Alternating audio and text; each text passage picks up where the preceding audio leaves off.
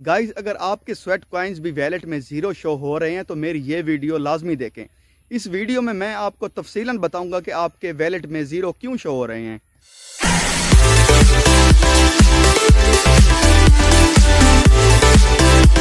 Hello guys welcome back to another video मैं हूँ नादिर और आप देख रहे हैं नादिर बास व्लॉग आज की वीडियो में हम बात करेंगे स्वेट कॉइन्स की, क्योंकि अक्सर यूज़र ऐसे हैं जो काफ़ी टाइम से स्वेट कॉइन्स जो है माइन कर रहे हैं।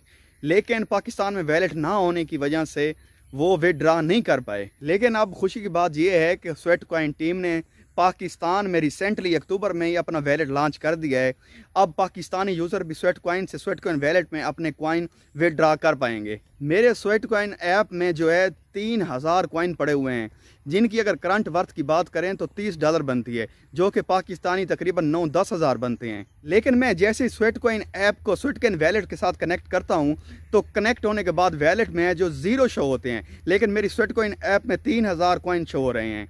इसकी क्या वजह हो सकती है? इसका रीज़न ये है कि जो हमारे पास कॉइन पड़े हुए हैं, वो वेब टू के हैं। लेकिन जो अब स्वेट कोइन टीम ने लॉन्च किया टोकन वो वेब थ्री का है। जो हमारे पास पुरानी एप्लीकेशन में पड़े हुए हैं, उन्हें हम विदड्रा नहीं कर सकते वो वेब टू में हैं। उन्हें हम सिर्फ़ शॉपिंग के लिए ही इस्तेमाल कर सकते हैं। इसका मतलब ये है कि अब यूज़र को जो है टीम ने सिर्फ़ लॉलीपॉप दिया है।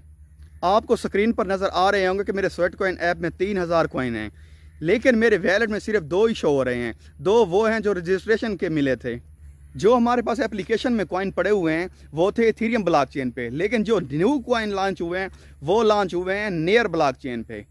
अब जो कॉइन हमें वाक से या मूव टू अर्न से मिलेंगे, वही हम विड्रा कर पाएँगे किसी भी एक्सचेंज पे एम पे या कू कॉइन पे।